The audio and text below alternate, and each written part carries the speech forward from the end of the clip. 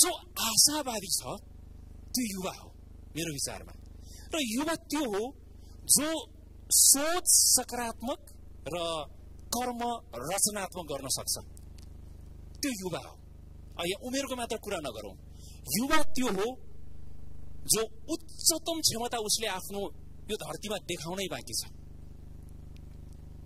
यो ट्रेलर मात्र देखाइरहेको छ अझै उसको एकदम हन्ड्रेड पर्सेन्ट देखाउन बाँकी जो व्यक्ति छ त्यो युवा हो। र युवा त्यो हो जो जहिले पनि सिक्न इच्छुक गर्छ क्या ऊ कहिले पनि अब पुग्यो है अब मलाई पुग्यो मलाई ज्ञानले पढाइले स्किलले सबैले पुग्यो भनेर कहिले पनि चुप्लाएर बस्दैन त्यो युवा हो। जहिले पनि सिक्न चाहन्छ। र युवा त्यो हो जसले कहिले पनि हिम्मत हार्दैन। हु नेभर गिभ्स अप त्यसैले यी दुई चारवटा कुरालाई ख्याल राख्यो भने मलाई लाग्छ अब त्यो उमेरको एउटा लिमिटेसनभित्र मात्र नअड्यौँ युवाभित्र धेरै कुराहरू छ अब एउटा क्वेसन तपाईँहरूको अगाडि राखिरहेको छु हाम्रो जीवनको अन्तिम उद्देश्य के हुन सक्छ? What is the ultimate purpose of our life आज हामी जस्तो अवस्थामा छौँ त्योभन्दा राम्रो अवस्थामा पुग्नु नै हाम्रो जीवनको अन्तिम उद्देश्य हो। हामी जहाँको त्यहीँ बस्न चाहन्नौ जस्तोको तस्तै बस्न चाहन्नौ। त्यसकारण हाम्रो जीवनको अन्तिम उद्देश्य भनेको चाहिँ the ultimate purpose of our life is expansion अर्थात् बिकम बेटर देन टुडे आज हामी जहाँ छौँ त्योभन्दा हामी फरक र उत्कृष्ट हुन चाहन्छौँ। र जीवनको लक्ष्य पनि त्यही हुनुपर्छ। त्यसकारण जीवनको गन्तव्य रोज्नुभन्दा अगाडि म अहिले कहाँ छु भन्ने कुरा बुझ्नु जरुरी छ होला। तपाईँ आफू अहिले कहाँ छु भन्ने कुरा थाहा पाएन भने कहाँ जाने भन्ने कुरा पनि थाहा पाउन सकिँदैन। त्यसैले पहिला हामीले आफ्नो लोकेसन थाहा पाउनु पर्यो कि म कहाँ छु? अनि पो बल्ल कहाँ जाने भन्ने कुरा टार्गेट गर्न सकिन्छ होला नि। पठाउ हामीले बोलाउँदाखेरि पनि त कुरा त्यही हो। तपाईँ कहाँ हुनुहुन्छ? त्यसपछि त्यो आउँछ। अनि हामी कहाँ जाने उसले पुऱ्याइदिन्छ। त्यस कारण पहिला हामी आफू कहाँ छौँ भन्ने थाहा पाउन सक्यो भने हामीले आफ्नो गोल चाहिँ सेट गर्न सक्छौँ। त्यस कारण म यति मात्र भन्न चाहन्छु कि हामी यो धरतीमा भिडमा हराउनको लागि आएका होइनौँ। यदि हामीले आफ्नो लक्ष्य बनाएनौँ भने हामी आम मान्छेको भिडमा हराउँछौँ हाम्रो इतिहास बन्दैन। हामी केही न केही लेखेर र भावी पुस्तालाई यो मान्छेले पनि यो धरतीमा के बाटो देखाएर गएको थियो है भन्ने सन्देश छोडेर मात्र मर्न चाहन्छु। मर्नु त एक दिन छँदैछ। तर मर्नु अगाडि तपाईँ धरतीमा जन्मेको पनि थियो र भन्ने कुरा भोलिका पुस्ताले इतिहास पढ्दा पत्ता लागोस्। त्यस कारण हामी इतिहास रच्न आएका हौँ। इतिहास पढेर मात्र मर्न आएका होइनौँ। First change yourself to change others भन्ने एउटा महान वाक्यांशको एउटा गतिलो उदाहरण हो यस्तो।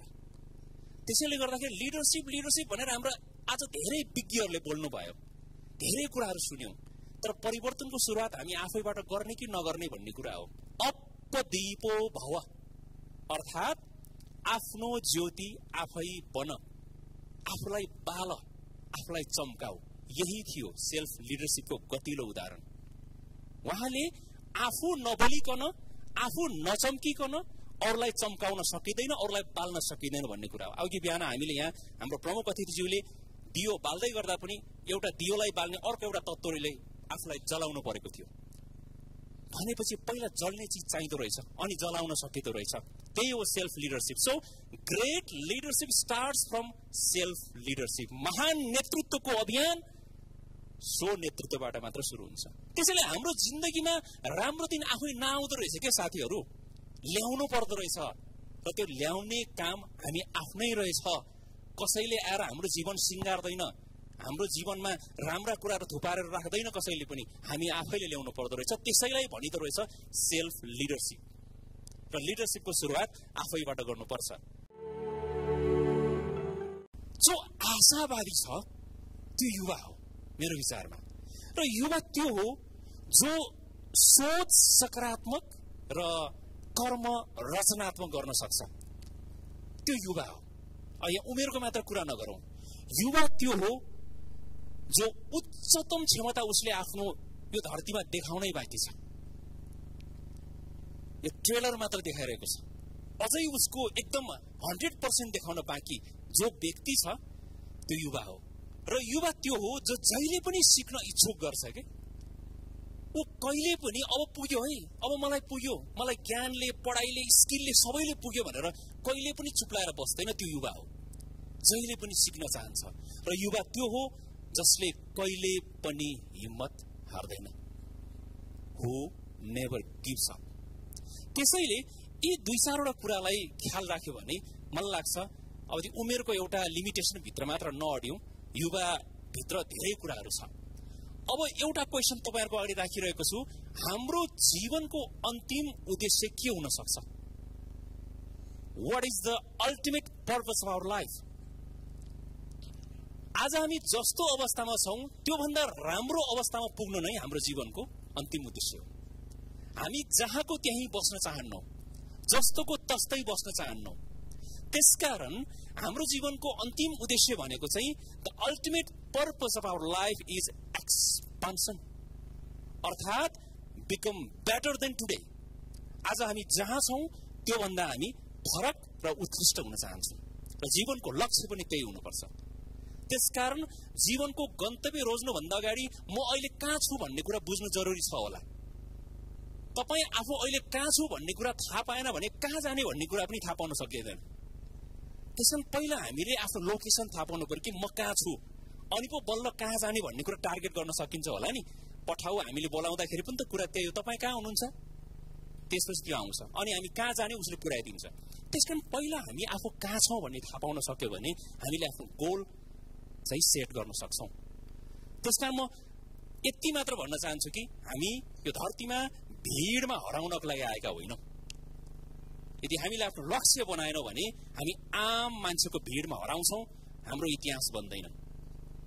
हामी केही न केही लेखेर र भावी पुस्तालाई यो मान्छेले पनि यो धरतीमा के बाटो देखाएर गएको थियो है भन्ने सन्देश छोडेर मात्र मर्न चाहन्छु। मर्नु त एक दिन छँदैछ। तर मर्नु अगाडि तपाईँ यो धरतीमा जन्मेको पनि थियो र भन्ने कुरा भोलिका पुस्ताले इतिहास पढ्दा पत्ता लागोस्। त्यस कारण हामी इतिहास रच्न आएका हौँ। इतिहास पढेर मात्र मर्न आएका होइनौँ। First change yourself to change others भन्ने एउटा महान वाक्यांशको एउटा गतिलो उदाहरण हो चित्र। त्यसैले गर्दाखेरि लिडरसिप लिडरसिप भनेर हाम्रो आज धेरै विज्ञहरूले बोल्नुभयो। धेरै कुराहरू सुन्यौँ। तर परिवर्तनको सुरुवात हामी आफैबाट गर्ने कि नगर्ने भन्ने कुरा हो। अपदीपो भव। अर्थात् आफ्नो ज्योति आफै बन। आफूलाई बाल आफूलाई चम्काऊ यही थियो सेल्फ लिडरसिपको गतिलो उदाहरण।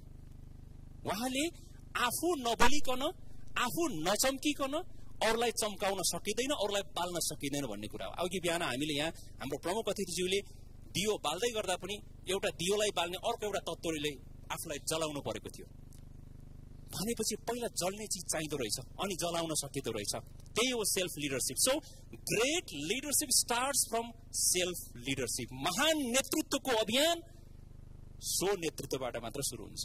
त्यसैले हाम्रो जिन्दगीमा राम्रो दिन आफै नआउँदो रहेछ के साथीहरू? ल्याउनु पर्दो रहेछ। र त्यो ल्याउने काम हामी आफ्नै रहेछ।